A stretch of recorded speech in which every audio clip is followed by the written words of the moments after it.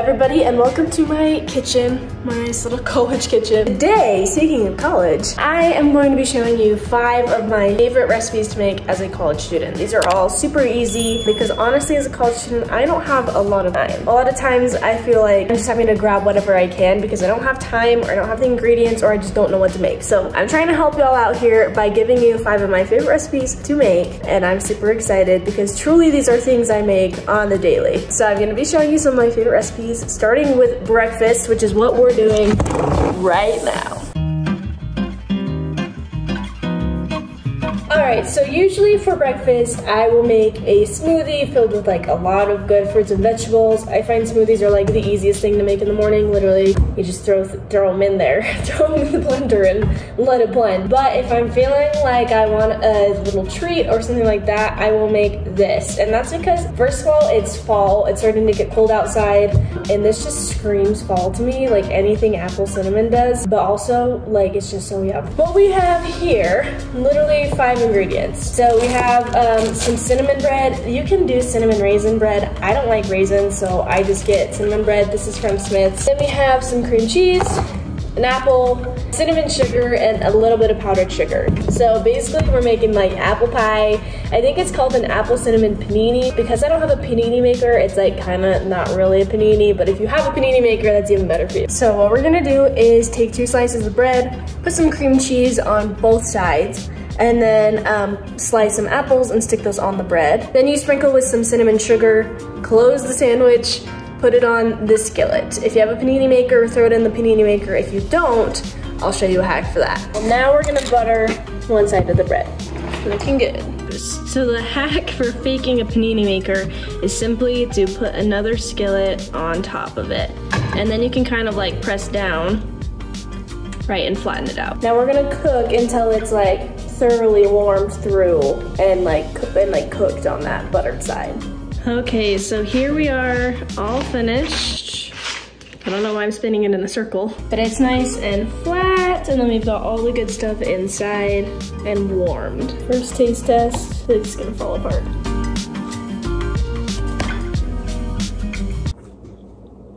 So good. I got so excited I forgot to show that you can actually sprinkle some powdered sugar on top too, if you're feeling even more festive. Okay, I'm back for class and now I'm ready to make lunch. I'm gonna be making two recipes for this now because I have to show you five. this is one of the easiest meals ever. It's just elevated. This is usually something that college students make all the time and that is ramen because it's super cheap, basically can't go wrong with it, and it's super fast. So this is my favorite brand of ramen to make. Um, it's spicy ramen. My roommate introduced me to it and I love it. So we're gonna be using that today. And basically what we're doing is just adding a little bit more ingredients to make it more of a complete meal. So this is gonna be more like spicy peanut Thai noodles. And all that you have to do is cook your ramen according to the directions on the packet. You can use any kind of ramen really. Then we're just gonna add some peanut butter and like any other toppings that you want in that. We're doing about two tablespoons more or less. You can do whatever you want and it's kind of foolproof, which is kind of the nice thing about this, and it's also super fast. I'm gonna be making the peanut version today, which means I'm basically just making the noodles and throwing some peanut butter in there. And here we have our Thai noodles. So if you want it a little bit spicier, you can add sriracha. I am kind of a wimp when it comes to spice, so I prefer mine with just like light sriracha or none at all. It's still so hot. You'll just have to take my word for it that it's really good. Mmm, so good. All right, this one is more of like a quick dinner if you're needing something really fast and just something to put together really fast. Um, that is exactly what this is. And it's also nice because you can actually keep a lot of the ingredients for a really long time just in your freezer. We're making tacos in a bag, all right? All that you need, some Doritos, small bag Doritos, cheese, lettuce, and whatever your meat is. I'm doing ground turkey because I don't eat red meat. And again, very, very simple. You just cook your meat, and then crush your bag of chips a little bit and literally throw it all in the bag and eat it straight from the bag. Cheese.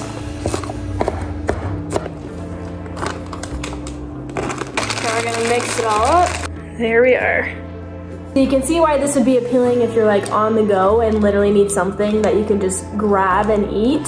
This is like your plate, your fork, everything all included, which is so nice. Took me like 10 minutes. That's it. And what's nice is you can keep everything in your fridge, you know, and you can portion it out in single meals, which is also nice as a college student, because then you're not having like a ton of leftovers. All right, it is now officially dinner time, and usually by the end of the day, I have a little bit more time to kind of cook and make something a little bit more sophisticated. So I'm gonna be showing you two of my favorite dinner meals. We've got sweet potato quesadillas, which are really good, and I've been kind of in like a salsa kick right now, so that's extra good with salsa. And another dinner that I make quite regularly, which is also nice because you can just grab kind of random ingredients that you should have in your fridge. My family recipe of chicken tenders. These are both very simple, also, even though they're a little bit more sophisticated. For the chicken tenders, all that you need is some pancake mix. Um, it calls for Bisquick, but I have this one already. Egg, you need butter, some Parmesan cheese, and then some like seasoning. You can kind of do whatever you want. I do a little bit of paprika, things like that, just to make your flavor a little bit more strong. And then you need some chicken. And actually I found like my local grocery store has pre-sliced chicken already. I didn't get it today just in case you guys don't have that. Um, but that makes it even faster when it's like pre-sliced because literally all that you have to do is just like coat it and cook it. All right, this next one is kind of a newer one for me, but I really have been liking it, so I thought I would share it with you. Um, and this is the sweet potato quesadilla. A little bit of different ingredients. This one's one that I kind of have to like go and shop for. Not so much stuff that I usually have on hand, but it is very good, so sharing it nonetheless. For this, you will want a sweet potato, um, a red onion, We've got some nutmeg, some flour tortillas, a little bit of oil. You can add pecans. I'm not a big pecan fan, so I don't. And then you'll want some cheese and some salsa for topping. Is my favorite salsa right now. And this pretty much just follows the same recipe as any other regular quesadilla with a little bit more fresh ingredients and um, some nutrition in there. All right, so I made the Thai noodles and tarkona bag yesterday for lunch and dinner, and I didn't want to waste any food, so I'm now making the second stuff today. So these two recipes are my homemade family recipe of chicken fingers and the quesadilla that I've been that I found online and that I have been loving. So we're gonna make those for my food today.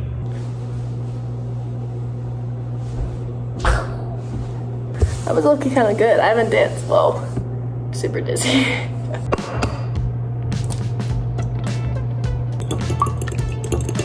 You'll want to throw everything into a one gallon Ziploc bag. So this is going to be your pancake mix, Parmesan cheese, uh, salt, and any other seasonings that you're using. Then you go ahead and dip your chicken strips into the egg and put it in the bag and shake it up. Make sure it's all coated, and then you put it on the sheet. Okay, these are nice and battered up, so I'm gonna melt some butter, put it on them, and stick them in the oven. Okay, here we are at our halfway point, and I'm going to flip them now.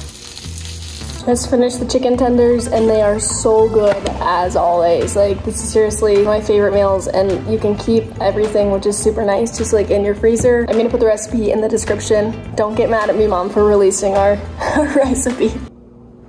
Got a little bit crispy. This is so hot. Also, this does not look like the usual sweet potatoes that I get. I don't know, I just asked the lady to give me one and we'll see if this works. So I'm about 90% certain that this is not the right potato. It smells like just a regular potato. So I don't know what happened at the grocery store, but this is definitely not a sweet potato. You win some, you lose some though. We're just gonna try regardless and see if it still tastes good. And I will let you know.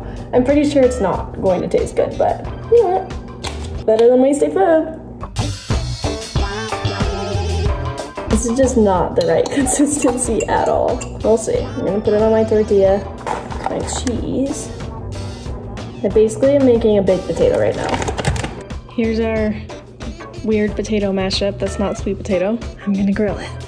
It is cooking nicely, I will say that. I'm just not sure how good it's gonna taste. Like it's basically just like a baked potato like on a tortilla, which feels weird to me. Okay, here we have our finished quesadilla. I will say this quesadilla cooked nicely. Here we go.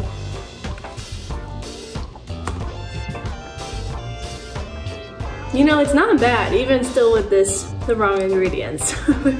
like it just tastes like, I don't even know, it tastes like some intricate form of a quesadilla, so there you go. Not too bad overall.